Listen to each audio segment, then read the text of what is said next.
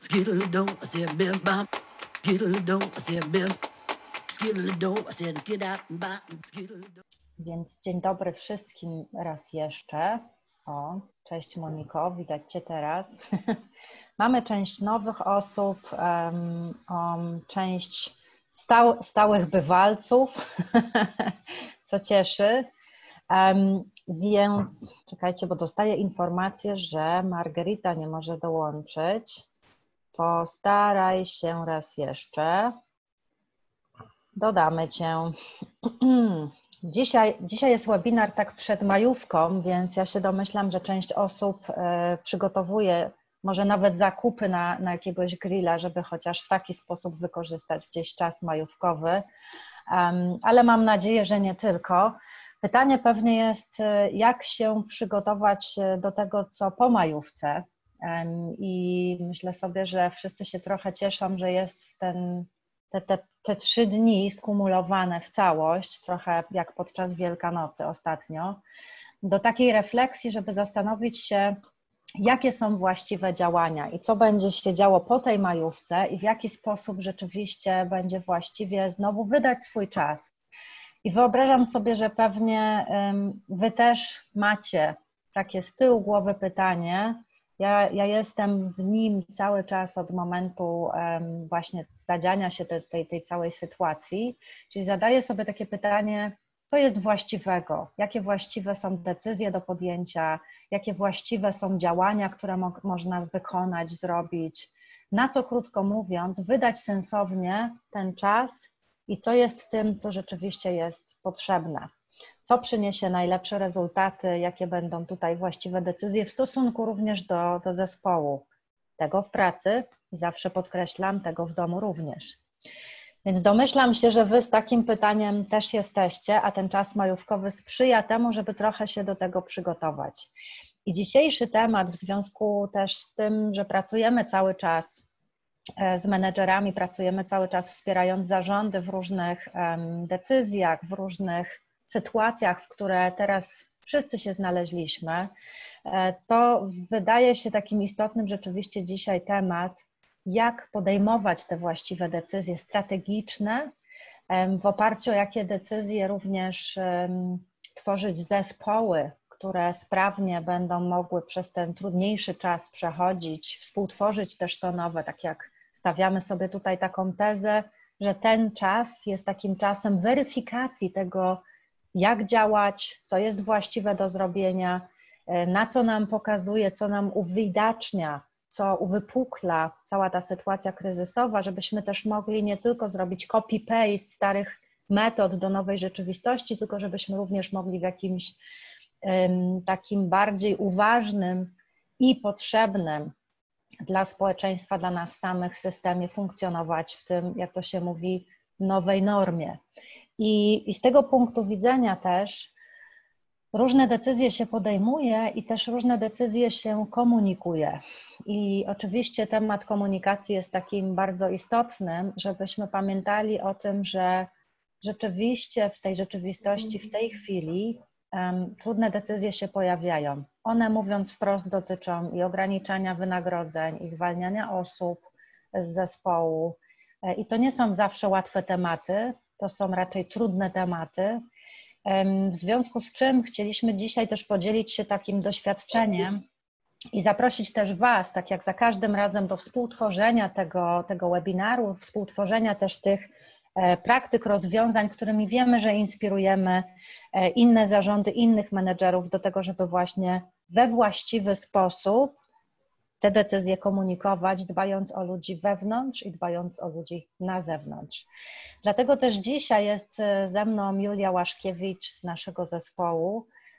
A Julia to jest taka osoba, którą e, muszę Wam przyznać się osobiście, że jak się kiedyś wiele lat temu poznawałyśmy, a znamy się e, sporo, to, to, to było, to zawsze myślałam o Julii, że to jest taka żyleta biznesu, taka bizneswoman, właśnie nie bojąca się trudnych decyzji, bardzo świadomie je podejmująca, e, potrafiąca, tak jak Harpagan, ponieważ e, w różnych triatlonach Julia bierze udział, motywuje, mobilizuje i mobilizowała swoje zespoły. W tym nawet udało jej się zmobilizować mnie kiedyś do tego, żeby przepłynąć, uwaga, 5 e, kilometrów wpław w Bałtyku od Mola w Brzeźnie do Molo w Sopocie, a przyznam, że jestem królową żaby, więc motywację ma nieprawdopodobną.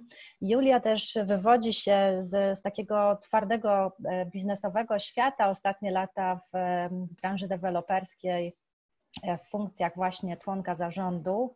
I z tej perspektywy będziemy chciały dzisiaj przeprowadzić Was właśnie przez takie trzy kategorie, czyli jak podejmować właściwe decyzje strategiczne, w jaki sposób e, jakie są kryteria podejmowania właściwych decyzji personalnych i to trzecie, jak właściwie komunikować te decyzje zarządu do zespołu wewnątrz i na zewnątrz. Tak jak wiecie, ci, którzy są już stałymi bywalcami, zaczynamy zawsze od takiego barometru naszych nastrojów. Czyli zapraszam Was do tego, żebyście w czacie napisali, jak się dzisiaj czujesz i w jakim kontekście jest zespół który prowadzisz, za który odpowiadasz. Zapraszam do czatu.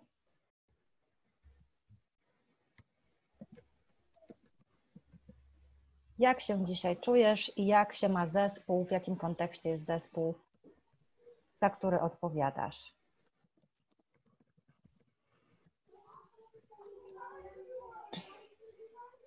Przypominam też, że ten, ten barometr nastrojów, on nam bardzo dobrą robotę robi, z tego względu, że pozwala zobaczyć, jak te nastroje rzeczywiście się zmieniają z tygodnia na tydzień.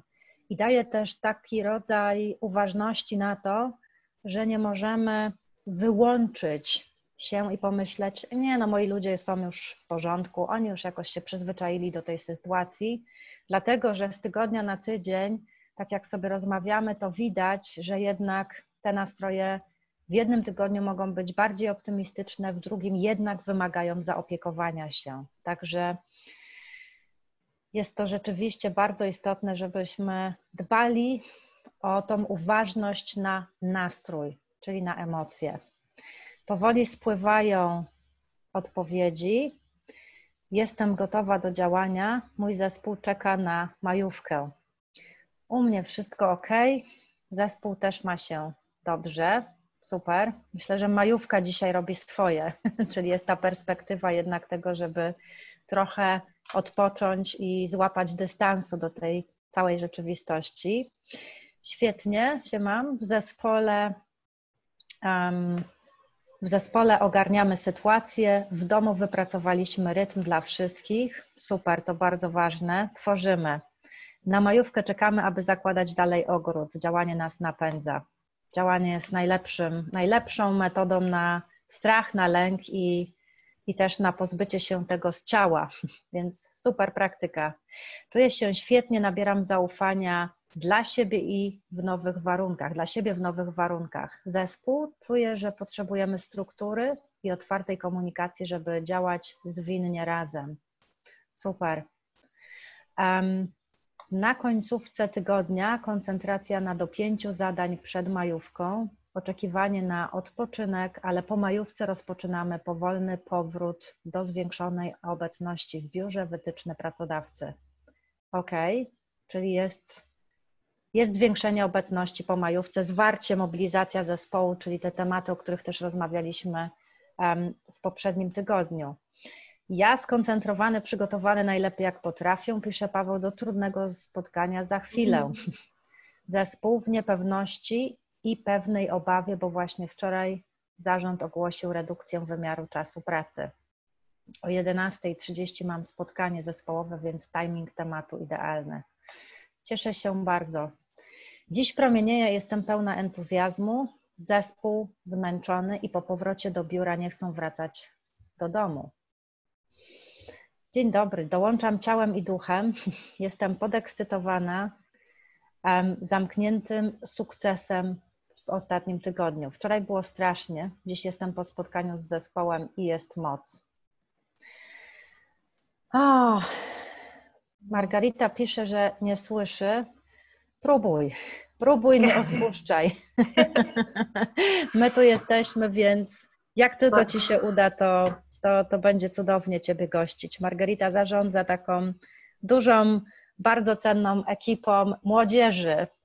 Jako nauczyciel bardzo otwarty i świadomy, nauczycielka fantastycznej grupy młodzieżowej, także um, trzymamy kciuki.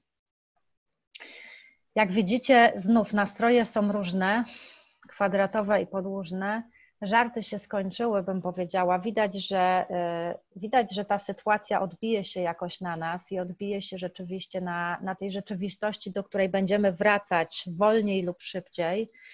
E, I stąd jest y, ta potrzeba do tego, żebyśmy mm, próbowali sobie odpowiadać na pytanie właściwe. I teraz chcę tylko jedną rzecz powiedzieć, już zapraszam Ciebie też, Julia, za chwilę do włączenia się, że rozmawiając, przygotowując się też do tego spotkania, ale też rozmawiając właśnie e, w naszym zespole o tym, co my powinniśmy zrobić i co jest właściwe, chcę też zainspirować Was do tego, żebyśmy dali sobie taki luz, że dzisiaj nikt nie ma jednej właściwej odpowiedzi w takim sensie, że to właściwe nie oznacza jakaś jedna prawda, która może zafunkcjonować u wszystkich że to, co właściwe, zależy od kontekstu, w którym jesteśmy. To, co właściwe, zależy od kultury organizacyjnej, którą wytworzyliście w firmie do tej pory. To, co właściwe, zależy od Twoich wartości, które reprezentujesz jako lider zespołu. To, co właściwe, to zależy też od tego, w jaki sposób e, traktujecie dostawców, w jaki sposób traktujecie partnerów, różnych interesariuszy, z którymi jesteście w kontakcie, czyli też te, te zewnętrzne zewnętrzni partnerzy, z którymi prowadzimy nasze działalności. Więc w tym właściwym nie ma jednej odpowiedzi. Natomiast y, zapraszając Julia Ciebie, też wiem, że przez różne trudne decyzje przeprowadzałaś zespoły, również w tym poprzednim kryzysie, do którego się trochę próbujemy odnieść, żeby złapać właśnie jakiś rodzaj doświadczenia, ale tak jak powiedziałam, traktujemy to wszystko jako rodzaj inspiracji do tego, żeby sprawdzić, co dla Ciebie, dla Twojego zespołu, dla Twojej organizacji będzie tym właściwym. A to zawsze przychodzi z takiego głębokiego zrozumienia, w czym jesteśmy, jakie są nasze wartości i w jaki sposób długoterminowo chcemy utrzymać naszą obecność. Więc te trzy pytania nas będą prowadzić. I zapraszając, otwierając ten pierwszy wątek, czyli w ogóle zastanawiać się, w jaki sposób podejmować właściwe decyzje strategiczne. Myśmy z Julią stwierdziły, że tak jak zawsze chcemy Was włączyć w współtworzenie tego webinarium, więc mamy dla Was pierwsze pytanie. Jeśli mówimy, że, że są do podjęcia trudne decyzje, to chcemy Was zapytać, jakie decyzje to trudne decyzje?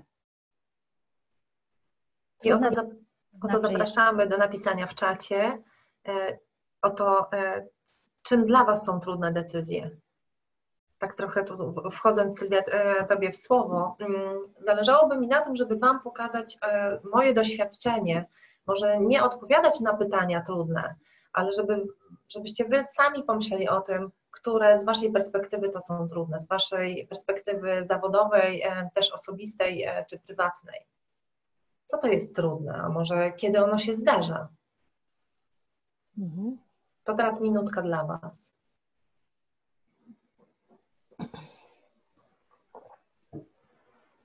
Trudne decyzje, czyli jakie?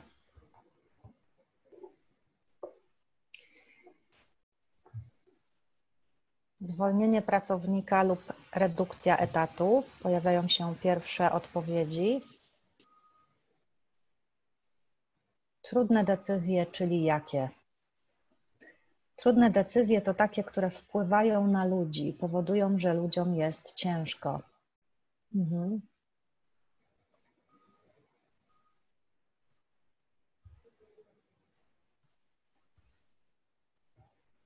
Trudne decyzje, czyli jakie to decyzje? I dla wszystkich, którzy już na pierwsze pytanie dali odpowiedź, to mamy taką, takie drugie pytanie doprecyzowujące. Co jest w tym trudnego dla Ciebie?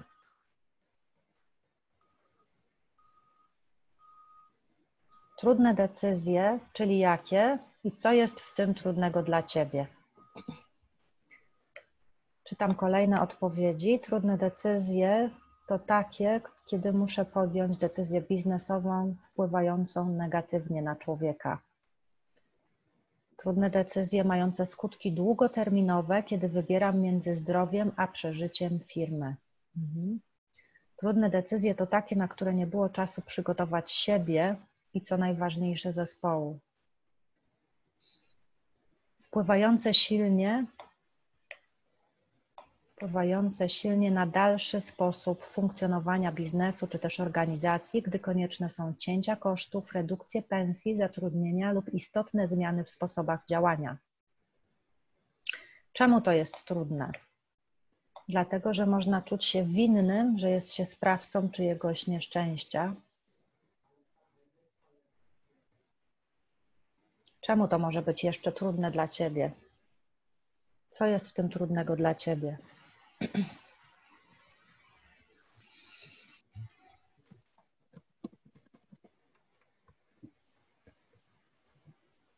Ja wiem, że dzisiaj wzięliśmy taki temat mało majówkowy, bym powiedziała, ale wzięliśmy go też celowo, bo wiemy, że te, te sytuacje właśnie mają miejsce i chcieliśmy przygotować Was do tego, żebyście, żeby było Wam lżej, tak jak zawsze. Gdy Sylwia zapraszała. Trudne jest to, że nigdy nie mogę być pewna, czy decyzja jest najlepsza dla wszystkich, że moja percepcja jest ograniczona. Mhm. Czyli wzięcie pod uwagę innych perspektyw. Okej. Okay. Te, te odpowiedzi będą nam spływać, także może, możemy je czytać. Ja bym, Julia, już Ciebie włączyła. Dobrze. E, Wiem, że to Twój temat, decyzja. To jest, e, gdy czytam e, Wasze odpowiedzi, to e, bardzo wewnętrznie czuję się poruszona. Gdy Sylwia zaprosiła mnie do tego tematu, to pomyślałam sobie, o, no to nieźle, tak? To jest tak trudny temat, to jest tak trudny, dlatego że jest głęboko wewnętrzny i związany też ze mną samą w środku. I tu nie padła żadna taka odpowiedź, ale ona mi gdzieś przyświecała, że jeżeli nie mamy takich doświadczeń, a stoimy w tej chwili przed e, czymś trudnym, to, to warto wspomagać się innymi osobami z zewnątrz. Ja chciałabym Wam pokazać moją perspektywę i moje doświadczenie. Może nie opowiadać o tym, e, jak mocno to przeżywałam, bo przeżywam też nawet razem z Wami teraz, ale to, co, po, co pozwalało mi trochę mm, jakby wyjść ze środka siebie i zobaczyć ją bardziej obiektywnie. E, podstawową e, taką e, metodologią, którą przyjęliśmy, którą przyjęłam w ogóle też w swoim doświadczeniu, było podzielenie decyzji, każdej trudnej decyzji na pewne etapy teoretyczne. Bo decyzja ma swoje etapy. Pierwszy etap to jest przygotowanie decyzji. Przygotowuję temat. Jeżeli sobie stawiam, teraz ją przygotowuję, to jeszcze nie jest decyzja. Jeżeli coś przygotowuję, to mogę sobie z każdej strony to obejrzeć. I jakbym wychodziła sama z siebie i oglądała z, z możliwie różnych stron. W przygotowaniu decyzji e, warto zaprosić inne osoby, żeby nie robić tego samemu. Jeżeli decydent ostatecznie, czyli ten, który powie tak lub nie, to jest decyzja, tak lub nie. Można powiedzieć tak lub nie na dobrze przygotowaną decyzję. Można zaprosić do przygotowania decyzji inne osoby, inne firmy, konsultantów, nie wiem, badania, raporty, to jeszcze nie jest decyzja. To wszystko powoduje, że ona jest dużo bardziej obiektywna, dużo mniej idzie ze środka, dużo mniej mamy tych tarć wewnętrznych, tak? Często, zwłaszcza gdy dotyczy to ludzi, zastanawiamy się, no tak, a gdybym to ja był, utożsamiamy się często z tą osobą. W momencie, kiedy to jest przygotowanie decyzji, bardziej to obiektywizujemy. Ja oprócz przygotowania i ostatecznego zatwierdzania decyzji, bardzo często wprowadzałam opiniowanie. Do opiniowania w sytuacjach takich codziennych, w pracy zarządowej, mieliśmy taki zespół, który współpracował z zarządem na stałe i który mógł e, wyrażać swoją opinię na temat tego, co zostało wcześniej przygotowane zwykle nie był głównym decydentem. Często też nie był osobą, która ponosiła konsekwencje za to. Mhm. Julia, a do tego zespołu e, to były osoby z wewnątrz organizacji, pracownicy, czy, czy też były zaproszone osoby z grona interesariuszy z zewnątrz? E, zawsze były to osoby. Coachów?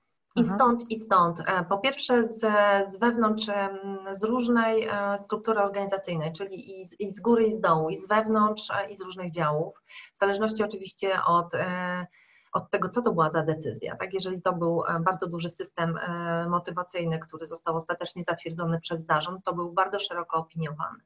Na pewno przez samych zainteresowanych, którzy, którzy, których dotyczył ten system, ale też właśnie osoby z zewnątrz. I byli to coachowie, ale to też był, byli członkowie Rady Nadzorczej, czy też inni, którzy znali firmę i którzy potrafili e, z zewnątrz doradzić, bo przez wiele lat z nami współpracowali.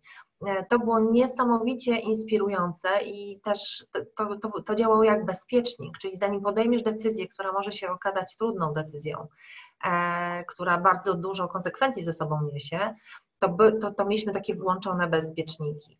Oczywiście można powiedzieć, że no tak, ale jeżeli jest czas kryzysu, to trzeba podejmować szybko decyzje to na takie sytuacje powoływaliśmy specjalny tak zwany sztab kryzysowy. Główny decydent przy trudnych tematach zawsze to był prezes, zawsze to była osoba, która stoi na czele organizacji. Nigdy nie szukaliśmy kogoś pod tytułem kozioł ofiarny, zobaczymy najwyżej, jak coś się nie uda, kogoś wystawimy. W ogóle nie było nawet takiego myślenia o tym.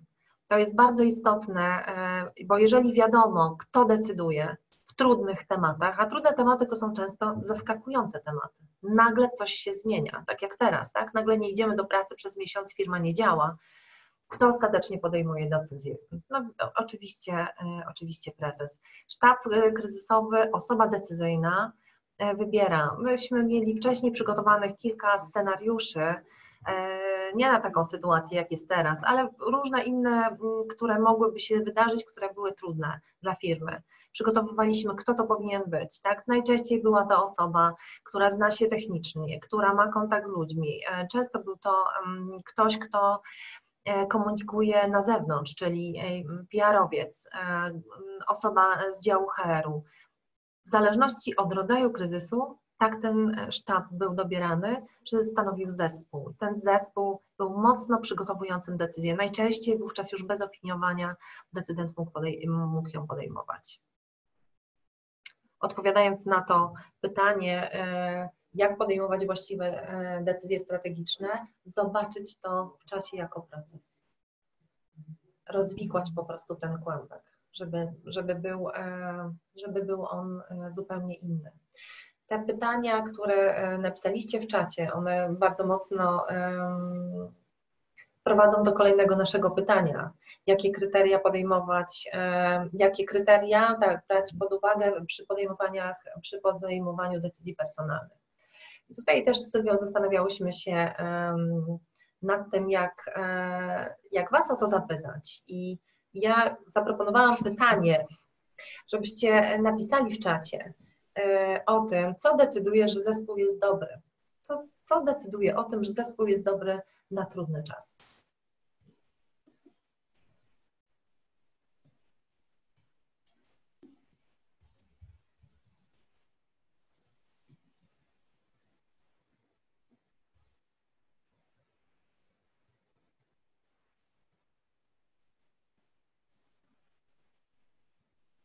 Mhm.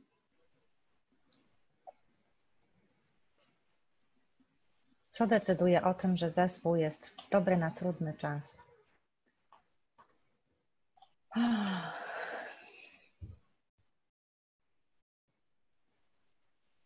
Pojawiają się pierwsze odpowiedzi: zaufanie, otwartość w komunikacji w zespole, synergia, odwaga.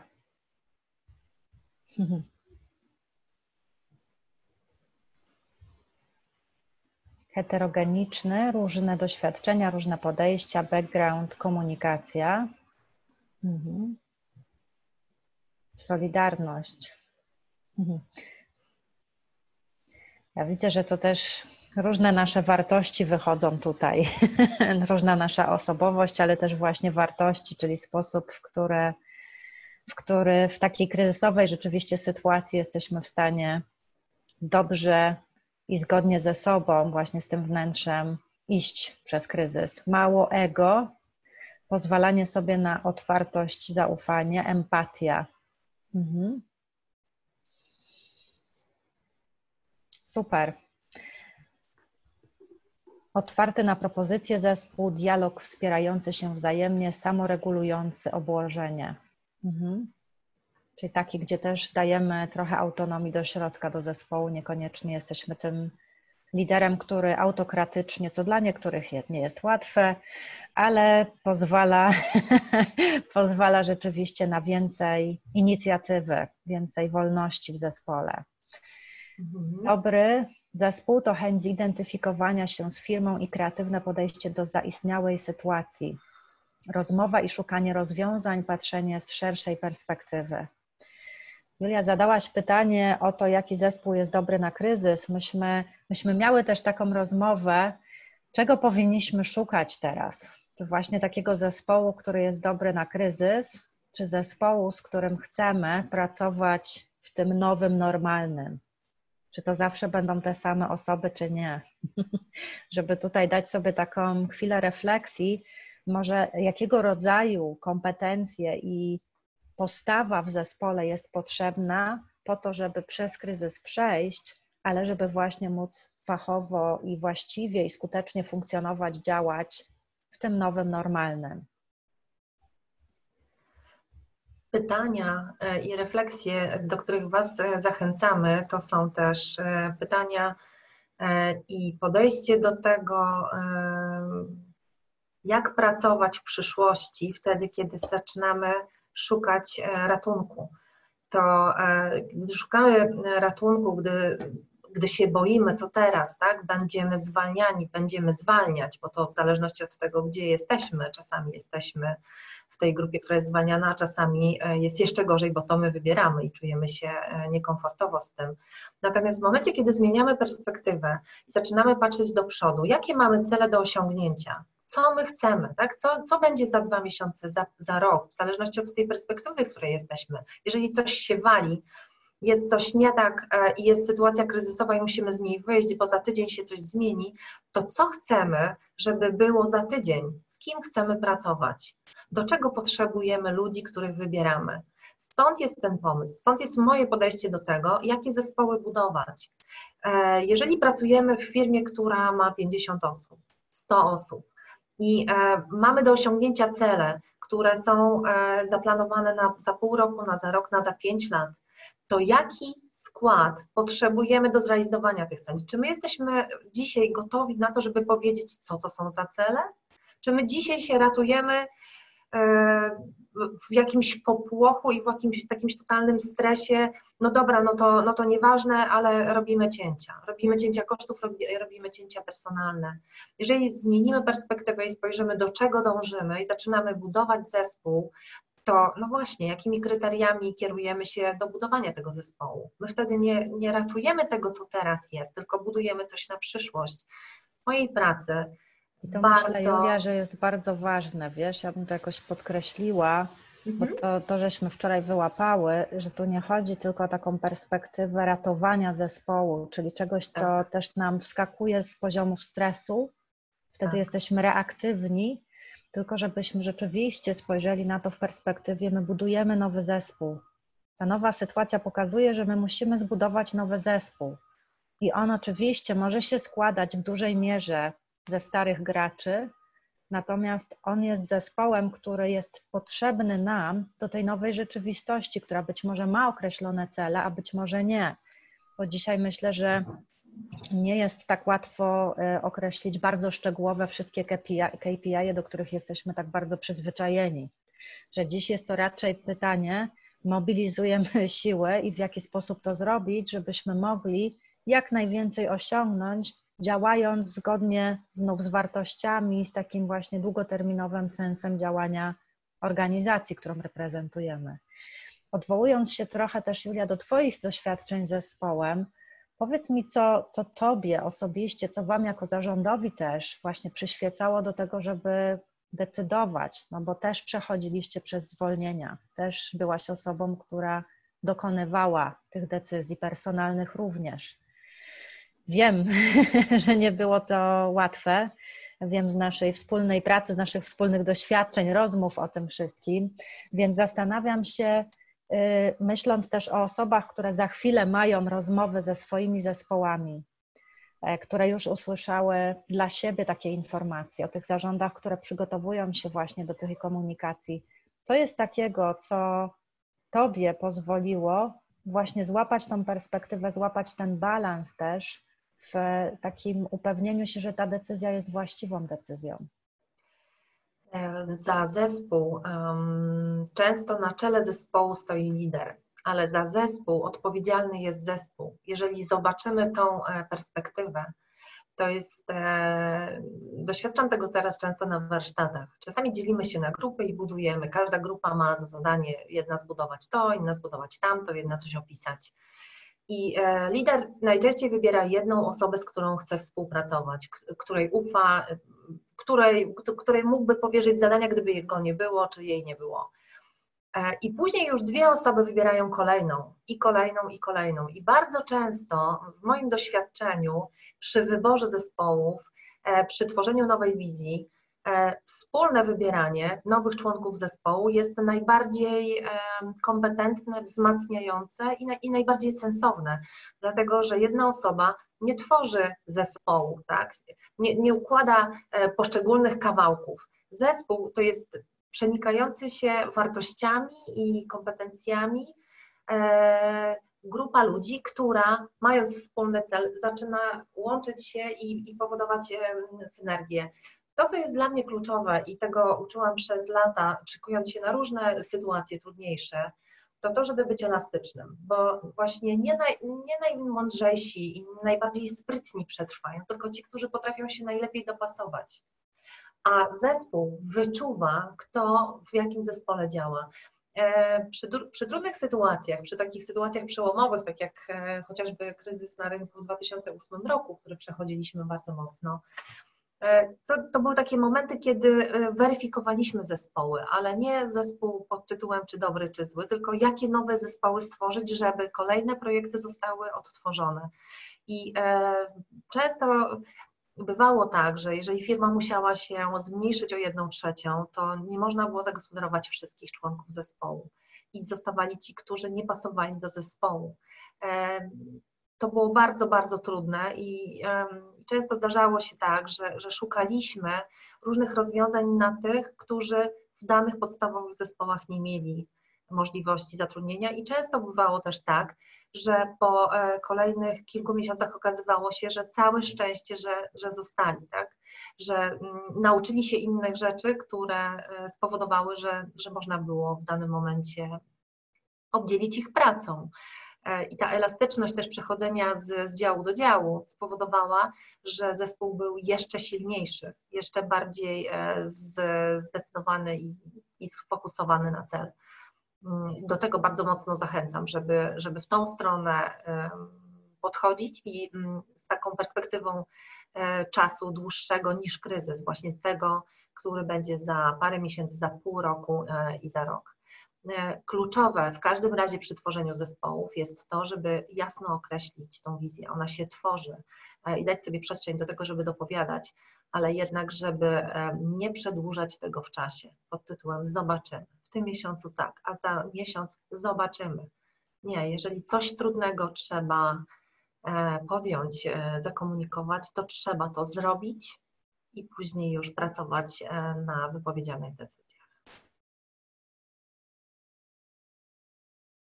I tym samym tu przechodzimy do kolejnego naszego pytania, mhm. które tak. która się jawi a propos tego. No właśnie, jak teraz je jak zakomunikować? To, jak to tak. Przygotowaliście decyzję, zopiniowaliście, zopiniował ją zespół, um, czyli propozycję decyzji w zasadzie.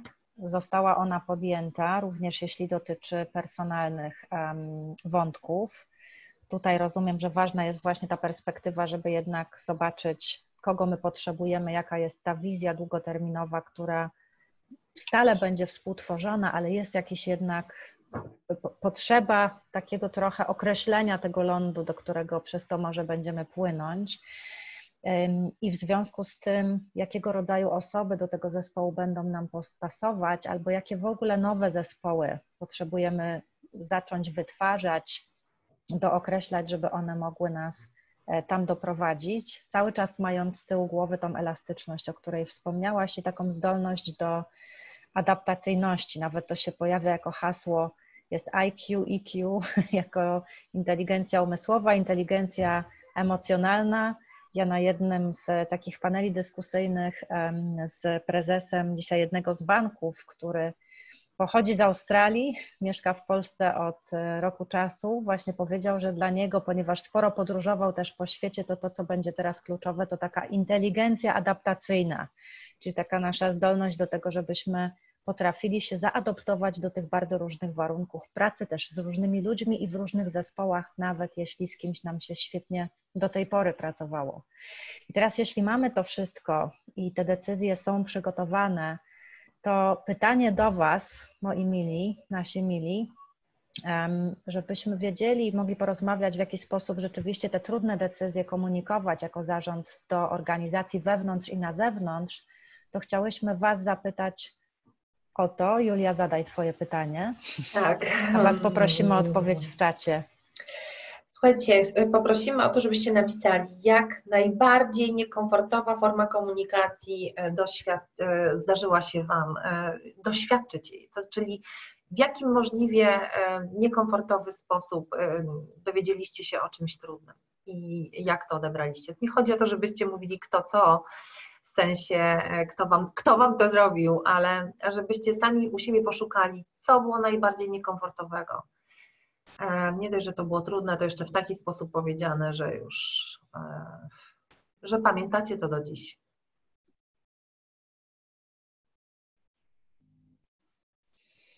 Typu chłopak mnie rzucił w SMS-ie.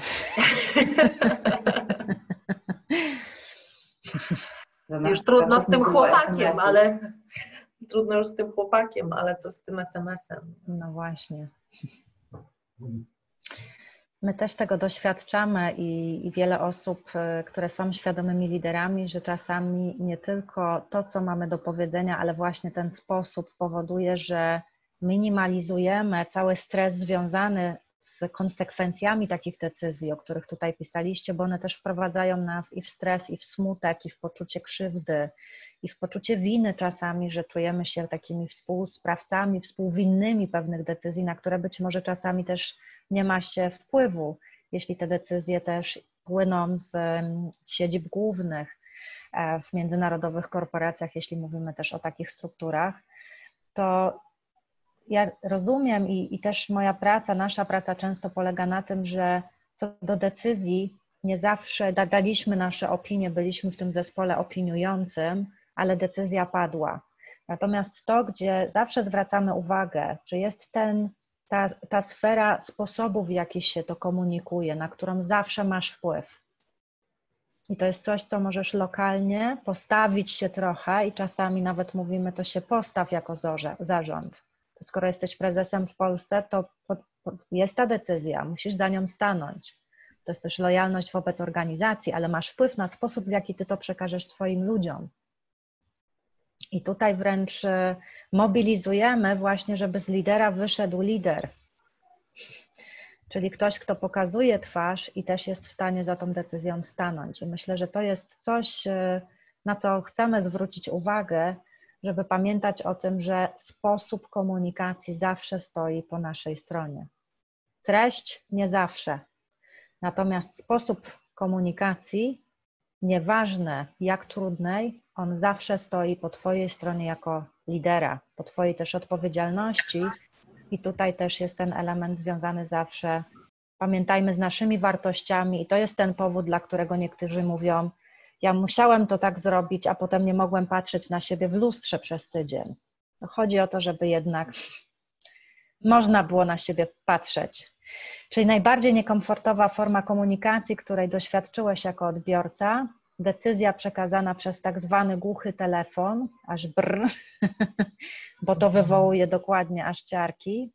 Najbardziej niekomfortowe było dla mnie otrzymanie wypowiedzenia bez podania przyczyny. Dezorientacja, strata, brak szacunku, krzywda. Mhm. Jakie jeszcze mieliście doświadczenia niekomfortowego komunikatu, trudnych decyzji, które w niewłaściwy sposób zostały przekazane? Jak będą się pojawiać odpowiedzi, będziemy je w czacie widzieć. Julia, bym znów zwróciła się do Ciebie.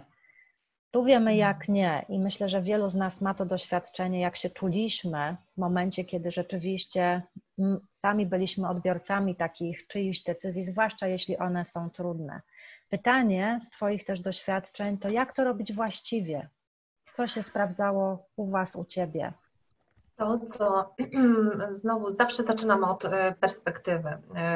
Byłam zwalniana i zwalniałam. Jak byłam zwalniana, pamiętam e, swoje emocje, nawet jeżeli nie byłam bardzo mocno związana z firmą, to jednak było to coś bardzo trudnego dla mnie.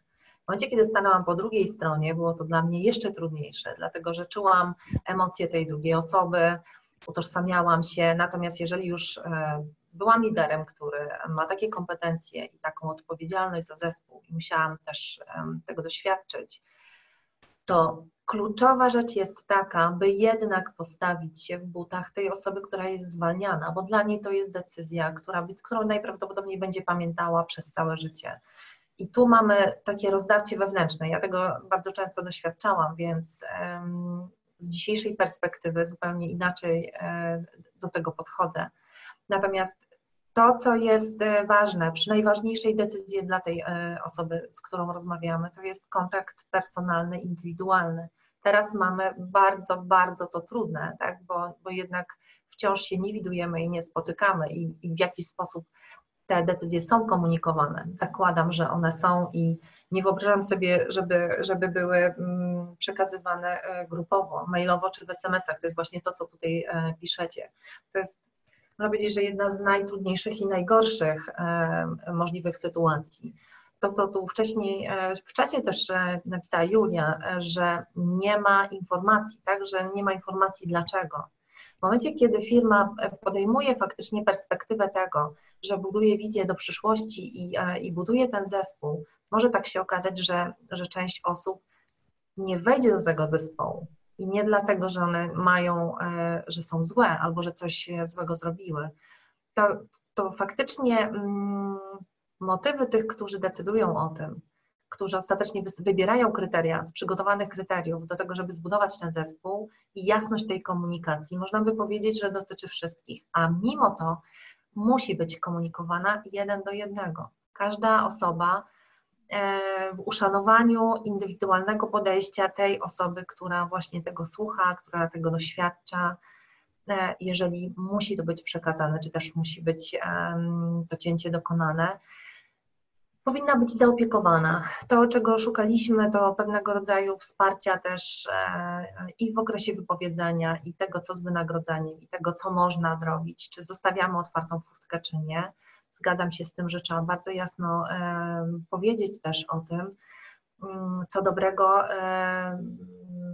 co dobrego jakby jest w tej osobie, tak? czy też w tym, w tym co, co w ogóle teraz e, komunikujemy czy robimy. Jeżeli chodzi o decyzje personalne, to najczęściej w momencie, kiedy tworzyliśmy e, zarząd, czy tworzyliśmy zespoły i przygotowaliśmy się do różnych alternatyw, to też wiedzieliśmy, że za takie decyzje ostatecznie główny szef zawiadujący całą firmą odpowiada. I nawet jeżeli były mniejsze zespoły i szefowie mniejszych zespołów, staraliśmy się, żeby nie komunikowali tych decyzji, żeby te decyzje szły od najważniejszej osoby. E, I to też było. Czyli trochę taki zły i dobry policjant. E, to, to myślę, że to bardziej by wynikało z szacunku do tych osób, czyli z szacunku też do tego, Ale nie że... unikali wtedy prezesa. Wtedy nie, zresztą e, to akurat był prezes na tyle otwarty, że on nie unikał nikogo e, też wcześniej. Może mhm. nie załatwiał wszystkich tematów, bo były e, odpowiedzialności ustawione na, na poszczególnych szefów zespołów. Natomiast właśnie te kwestie ludzkie, one były um, usadowione najwyżej i one właśnie były w zarządzie. Nawet mhm. jeżeli merytorycznie zarząd nie dawał wszystkich odpowiedzi, bo tak jak mówię, były one macierzowo rozłożone w projektach, to jednak ten szacunek e, przy tej ostatecznej, tym rozstaniu z firmą był ustanowiony bardzo wysoko i mm. staraliśmy się mm, mocno tego trzymać. Zdarzały się też oczywiście inne. Też tego doświadczyłam, tego, tego że przekazałam to źle, tak, po raz pierwszy. E, tak, zbierałam żniwa nawet po 8 latach, kiedy spotkałam te osoby. E, cudowne było to, że, że miały odwagę o tym powiedzieć e, i że mogłyśmy e, to wyjaśniać, czy w jakiś sposób e, inny mm, zamykać te tematy. Natomiast warto wiedzieć, że dla osoby, która jest zwalniana, jest to jedna z najważniejszych informacji w życiu. Teraz dodajmy od strony psychologicznej, że w kategorii, tak. w kategorii stresu, czyli co nas stresuje w życiu, zwolnienie z pracy po, po śmierci i po utracie kogoś jest na drugim miejscu, czyli to jest jedno z najbardziej stresujących doświadczeń, jakie, jakie mamy. Więc myślę, że tutaj rzeczywiście taka perspektywa tego, żeby zrobić to w taki sposób, w który my byśmy chcieli być potraktowani, jest szalenie ważna, choć przyznam szczerze, że dziś nie zawsze się da to zrobić jeden na jeden, zwłaszcza jeśli zwalniane są zespoły, a takie sytuacje konsultujemy w tej chwili, no bo to jest trochę wtedy tak zwana poczta pantoflowa, czyli jeden już wyjdzie i wiadomo, co może pokazać. Lawinowo to tutaj powoduje jakieś, jakieś turbulencje, więc na pewno to, co jest też y, istotne, to to, że je, jeśli to jednak dotyczy jakiejś dużej grupy w zespole, tak jak ostatnio konsultowaliśmy 20 osób y, z zespołu 70-osobowego dzisiaj, to był jeden z działów w dużej międzynarodowej, dużym koncernie, no to jednak jest to robione zespołowo, bo jest też taki rodzaj, myślę, niesienia wspólnie i otrzymania wspólnie jakiegoś rodzaju wsparcia, tudzież ustaleń. Poszczególne ustalenia też się mogą odbywać indywidualnie, bo też część osób jest w różnym wieku, e, wchodzą w różne przedemerytalne rozwiązania, więc tu wiadomo, że zawsze jest jakiś temat takiego, takiej specyficznej sytuacji poszczególnego pracownika jednak no, jeśli to są te grupowe sytuacje, to, to pewnie tą informację dobrze jest właśnie w takim w dobrej atmosferze, spokojnej atmosferze, ale jednak wspólnie przedstawić. E, a propos samych zespołowych, pamiętam też e, doświadczenie, kiedy E, kluczowa osoba e, w zarządzie przekazała całemu zespołowi, że, mm, że, to, że będą e, bardzo poważne cięcia osobowe i tak naprawdę wszyscy dostali tą informację, po mhm. czym w jednym czasie, bo, bo, to też jest bardzo istotne, jak to zrobić, żeby w jednym czasie, jeżeli jest 100 osób, żeby wszyscy się dowiedzieli, czy pracują, czy nie pracują i zrobić to nam możliwie indywidualnie z poszanowaniem drugiej strony. Mm, zostały przekazane listy. Każdy dostał w zamkniętej kopercie list i, i w tym liście było zapisane, czy zostaje, czy nie zostaje bez tłumaczenia, ale z możliwością umówienia się na spotkanie, później już takie indywidualne, które jakby polegało na tym, na rozmowie, na indywidualnej już rozmowie. Mhm. E, I te rozmowy trwały przez kolejne dwa tygodnie, bo tych osób było bardzo dużo, natomiast otwartość zarządu była taka, że każdy, e, kto będzie miał tylko ochotę spotkać się, to, to może to zrobić. Natomiast informacja, czy też tak, czy nie, czy zostaje, czy nie zostaje, była jakby w jednym momencie przekazana. Mhm. E, też jest duża trudność mhm. wtedy, kiedy te osoby są w różnych miejscach i też sobie teraz e, tak zdaję sprawę, że są możliwości, tak, że rozmawiamy. Dzisiaj, dzisiaj online, ale pamiętam tak. taki projekt z 10 lat temu, gdzie, gdzie zarząd się umówił w pięciu miastach Polski o jednej porze i, i właśnie mm, na spotkaniu e, w tym samym czasie w pięciu równoległych miastach e, ten komunikat poszedł. Myślę sobie teraz e, ostatnią, ostatni czas, który mamy dzisiaj, bym poświęciła troszkę też na to, co zrobić z tymi, co zostają, bo trochę się tu skupiliśmy na zwolnieniach, ale też firmy ratują się taką opcją, że nie zwalniamy, ale obniżamy o 20, o 30% wynagrodzenie. Więc to jest y, oczywiście, jak sobie pomyślimy, u innych zwalniają, u nas tylko obniżają, to już można powiedzieć, że to nam podnosi ducha e, i jest to też jakiś, y, myślę, cenny przekaz, że jednak y, cenimy Was jako ludzi, nie chcemy zwalniać, podjęliśmy w toku decyzyjności taką decyzję, a nie inną. E, I myślę sobie, czy, czy jest coś takiego, co u Was się też sprawdziło, być może po, po, po tym poprzednim kryzysie w 2008, co zrobić, żeby gdzieś te, ten duch zespołu nie umarł, nie upadł. E, bo to jest trochę żałoby i pamiętam, jak w zeszłym roku żeśmy taki pogrzeb robili w jednej organizacji, która chyba się przygotowywała, może intuicyjnie i, i też spora grupa osób kluczowych poleciała, prze, przemodelowywali swój biznes. Musieliśmy zrobić pogrzeb, bo pewne rzeczy nie zostały dobrze zrobione. Pogrzeb oczywiście w cudzysłowie, ale, ale to był taki nastrój, to był taki klimat, który tam panował. Więc myślę sobie, weźmy takiego Pawła, który za chwilę idzie i rozmawia z ludźmi i rozumiem, że ty będziesz miał za zadanie przekazać tą informację dalej.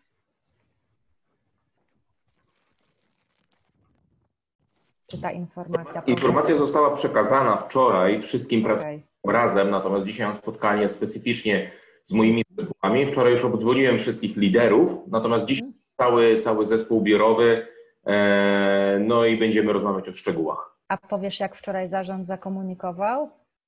W sensie... Dosyć profesjonalnie, zwołując konferencję e, dla wszystkich pracowników. E, było to, e, znaczy w mojej ocenie bardzo, bardzo profesjonalnie, e, bo były przedstawiane powody, e, były przedstawione, co w ten sposób zyskamy, jakie są, jakie są benefity. E, był bardzo duży nacisk na nazwijmy to, solidarność całej, całej firmy położony, mhm. więc, więc ja oceniam sposób komunikacji bardzo, bardzo wysoko. Super. Bardzo się cieszę. A sam jesteś gotowy dzisiaj do spotkań? Jak się z tym masz? Tak, starałem się dobrze przygotować. Wczoraj, jak wspominałem, obdzwoniłem wszystkich liderów zespołów czy, czy koordynatorów, więc E, oni też bardzo mi pomogli e, zebrać pytania, na które, które pewnie mhm. będą. E, ja też starałem się ułożyć sobie w głowie, jakie inne pytania mogą paść, więc, więc czuję, się, czuję się przygotowany. Również ja osobiście mm, myślę, że dosyć dobrze przekazuję, dobrze tłumaczę decyzje, z którymi się zgadzam i tą decyzję w 100% rozumiem i E, i wiem, z czego ona wynika, więc, e, więc absolutnie się, że jest trudna, to, to absolutnie się z nią zgadzam. Więc to, to daje mi poczucie, że jestem przygotowany. To, co Ty mówisz, jest myślę kluczowe w punkcie pod tytułem być w kontakcie. E, sama tego doświadczyłam po dwóch stronach. Bycie w kontakcie, czyli zespół, który zostaje, potrzebuje być w kontakcie. Nie, nawet jeżeli są jasno komunikowane decyzje, to często ludzie chcą usłyszeć od swoich bezpośrednich członków albo zespołu, albo bezpośrednich e, szefów zespołu. E, nie tylko właśnie od prezesa, ale też od tych, e, od tych którzy dalej zarządzają działaniami.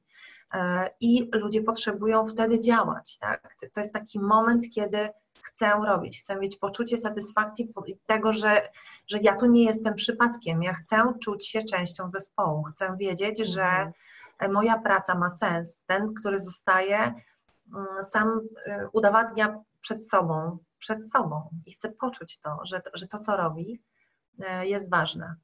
Mhm. Że, że, że kreuje tą wartość. Że, że jest w tej wartości.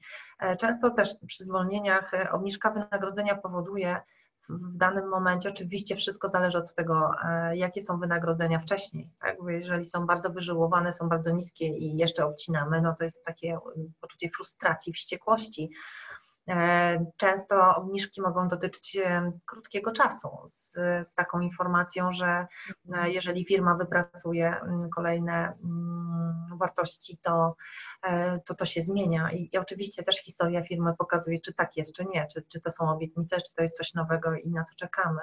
Więc Myślę, tak. że to też jest zwłaszcza ważne, bo też taką sytuację konsultowaliśmy, kiedy ktoś miał obiecany na przykład awans, miał rok finansowy który się odbywa nie, niezgodnie z takim rokiem kalendarzowym, tylko różnie są e, w tak. firmach właśnie rok finansowy, różnie wygląda.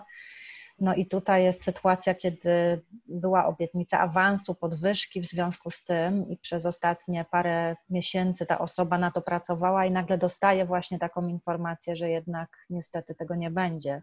Więc tutaj to jest ważne, na co zwracasz uwagę, żeby rzeczywiście dać też taką perspektywę, że to jest moment przejścia i to jest na teraz, natomiast żebyśmy pamiętali, że jest zawsze koniec tej, tej sytuacji kryzysowej i to też jest coś, y, do czego bardzo zachęcamy liderów, żeby nie odpuszczać. i żeby przypominać, że tego rodzaju obietnice były poczynione, czy uzgodnienia, żeby do tego wracać za jakiś czas i zobaczyć, jaka jest kondycja firmy i co w związku z tym możemy zrobić, jeśli chodzi właśnie o te wcześniejsze uzgodnienia e, z naszym zespołem. Patrzę, że mamy, zostały nam trzy minutki na koniec, więc chciałam Ci, Julia, bardzo podziękować i myślę, że to też jest taki trochę jak Paweł wniosłeś te odpowiedzi na pytania, to jest też coś, co bardzo lubimy e, wśród w gronie zarządów, które się otwierają na czat z pracownikami albo właśnie na pozbieranie tych pytań od ludzi i przygotowanie się do tego. To jest trochę jakby pójść na rozmowę o pracę i przygotować się na rozmowę rekrutacyjną ze swoim zespołem.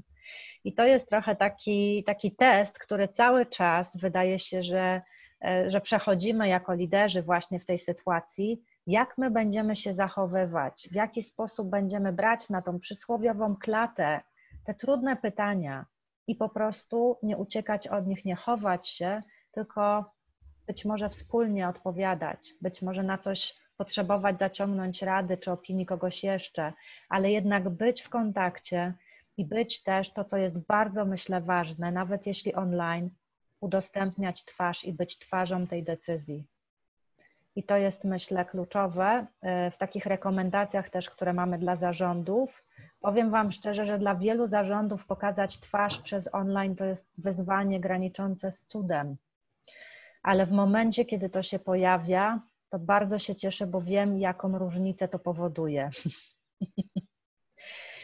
Także dziękuję Ci serdecznie, Julia, za dzisiaj i dziękuję. chciałam Was zapytać w tej ostatnim, y, ostatnich minutkach, żebyście w, czas, w czacie napisali, co dla Was dzisiaj było najcenniejsze i z jaką wskazówką, e, myślą wychodzicie. Zapraszam do tego, żeby w czacie się tym podzielić. Zawsze mamy tą ramę, czyli jest początek, dzielimy się tym, jak się czujemy, w jakim kontekście są nasze zespoły, a kończymy właśnie w taki sposób, żeby podsumować sobie trochę dla siebie i dla innych i zobaczyć, co z dzisiaj było cennego, wartościowego, co chcę zastosować, jaką wskazówkę ze sobą zabieram. Przygotowanie decyzji to jest cenna lekcja, pisze Gosia. Cenne było poruszenie tego tematu i dziękuję za przykłady i rozłożenie trudnych sytuacji na czynniki pierwsze. Cieszę się bardzo. To taki temat na czasie. Ale też y, chcę bardzo Julia podziękować za, y, wiesz, za Twoje doświadczenie, bo przyznam szczerze, że trochę patrzyłam o czym inni mówią, mówiąc o trudnych decyzjach w, nazwijmy to w social media i trochę mnie zmroziły przykłady typu, no jak teraz pracodawca powie, że e, nie będzie od, od po majówce nie będzie już kawy w, w kuchni, bo mamy ograniczenia finansowe, to pomyślałam sobie, no to chyba nie są te trudne decyzje, których ludzie nie zrozumieją, więc jakby bądźmy poważni, skupmy się na tym, co jest rzeczywiście tymi decyzjami, do których trzeba się przygotowywać, a nie bawmy się w nie wiadomo co. Kochani, dzięki serdeczne za dziś. Jak wiecie, podsumowanie do Was przyleci.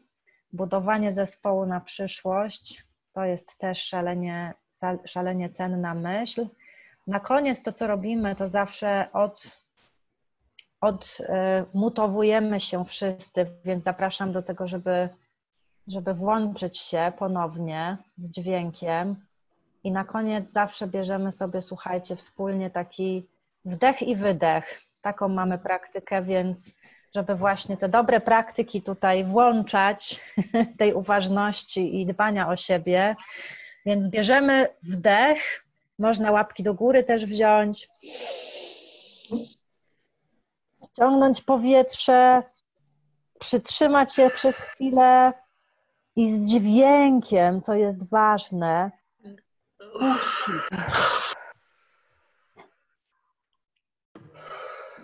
Dokładnie tak. Przed spotkaniem zawsze dobra praktyka. Kochani, dobrego tygodnia i widzimy się w przyszły czwartek. Wszystkiego dobrego. Dzięki Wszystkiego dobrego. Dziękujemy. Dziękujemy.